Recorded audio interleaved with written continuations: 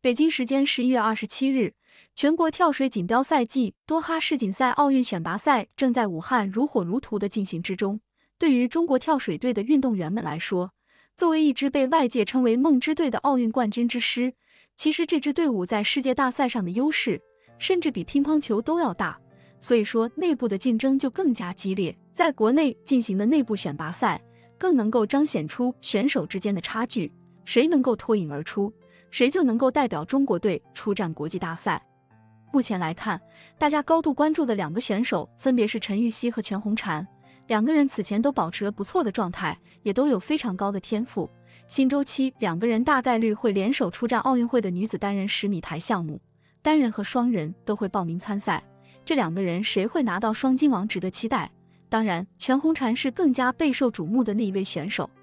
毕竟，全红婵的个人天赋上限，以及东京奥运会上的水花消失术纸巾，让我们历历在目。其实，中国跳水队之所以能够保持了非常昂扬的斗志，内部激烈的竞争，这都得益于周继红对于这支队伍的严格管理，才能够让中国跳水队欣欣向荣，持续涌现出更多高水平的运动员，能够在内部的激烈竞争中不断将跳水运动带向世界巅峰。而周继红对于陈芋汐和全红婵也都是高度关注。前段时间也是将全红婵的教练员陈若琳从京外调到了北京工作，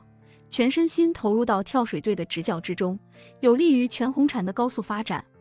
而在近期，根据国家体育总局最新发布的任命公告显示，周继红已经正式走马上任，成为了游泳管理中心的主任。此前，周继红的职务是副主任，主任一直一直空缺。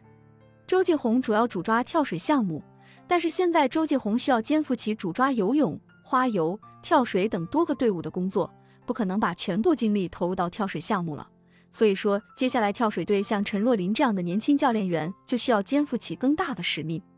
陈若琳作为全红婵的恩师，也会在跳水队行使更大的使命和责任，这对于全红婵的职业生涯爆发和稳定成长带来了非常大的帮助。陈芋汐也都看懂了。伴随着周继红担任了游泳运动管理中心主任之后，每一位运动员都需要迎来新的挑战，保持自律，保持自己的高标准严要求，争取用更好的成绩回报当初周继红的信任。相信中国跳水队以及游泳队都能在新周期取得理想成绩。